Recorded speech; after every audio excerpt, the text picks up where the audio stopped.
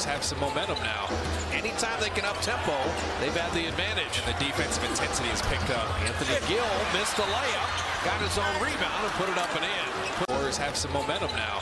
Anytime they can up tempo, they've had the advantage. And the defensive intensity has picked up. Anthony Gill missed the layup, got his own rebound, and put it up and in. Warriors have some momentum now. Anytime they can up tempo, they've had the advantage. And the defensive intensity has picked up. Anthony Gill missed the layup, got his own rebound, and put it up and in. The Wizards are going to make that tough, though. And both benches are playing very well. Ah, nice pass inside. You just didn't have sight of the ball there if you're Kuminga. He's pointing to himself. Kuminga surveying. Kuminga into the rim. Anthony Gill with a nice defensive play. DiVincenzo running. Final minute of the third. Ty Jerome. Dropped it off to JaMychal Green.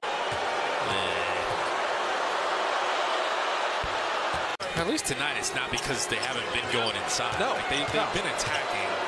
And it's also, too, and we say this just so people are aware, the best road team in the last two months in the league, Washington, is going to get sent away here. Poole will just let the shot clock expire.